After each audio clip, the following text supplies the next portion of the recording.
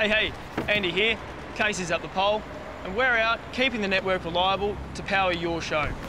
And Melbourne uses tons of power for things like cafes, Trams, bars, hospitals. Andy's hot tub. So we're out here maintaining the network and upgrading it to keep it reliable every day.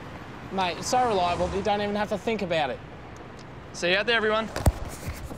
All right.